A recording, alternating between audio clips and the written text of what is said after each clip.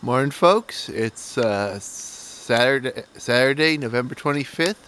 Camping up at the East Branch of the Sacandaga River. Uh, yesterday, I hiked up Moxham Mountain outside of Minerva. And now I'm camping down the East Branch. Uh, it's a beautiful morning this morning. I don't know if the weather's going to stay this nice all day. I'm going to take it one day, at, or take it an hour at a time and figure out. I will take down this campsite because I want to, uh, yeah, go somewhere and charge the battery up a bit just because I don't have the solar panel on the truck and uh, uh, both the accessory battery is kind of low. The starting battery is good. Uh, I charged a little bit last night, really. I idled the truck a bit, but uh, real nice new campsite I found here. I mean, I'm sure it's been here for years, but I've never been back here. It's uh, it's actually quite a little ways off of uh, Route 8. I'll show you.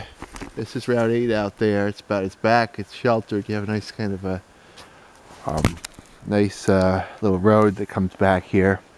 Not too far back, but far enough back you have some little bit of shelter from the noise because that's always a little noisy on uh, camping off 8 because there's a lot of truck traffic and just people going up to uh, Gore Mountain and cutting across the Adirondack. So yeah, here's camp.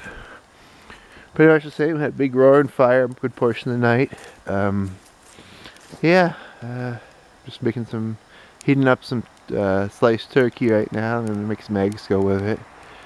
And uh, yeah, just gonna enjoy the morning. I have a couple different guns with me, so I might just use some hunting. Just kind of small game stuff. I saw some squirrels when I was back taking a shit, so I might uh, drop one of them out of the tree, drop one or two of them out of the trees. And uh, yeah, I, I'm surprised this campsite's not taken. A lot of the other ones are taken up here. Uh, maybe the hunter who was ever hunting here uh, before uh, tagged out and it is the last week of hunting season so they probably just went home. Great campsite though. I mean it's big it's uh, sheltered but it's right off 8 and um, East Branch of Sacandaga River is not that far from here.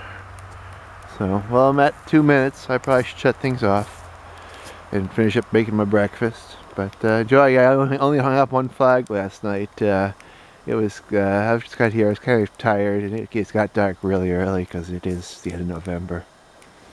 But yeah, great sight, for sure.